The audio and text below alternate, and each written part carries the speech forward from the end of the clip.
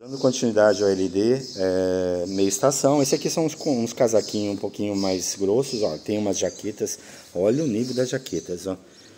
Ó que beleza. E os preços, né? Olha ali, ó. 199 reais. Olha, nós temos até marcas aqui originais, com LD também.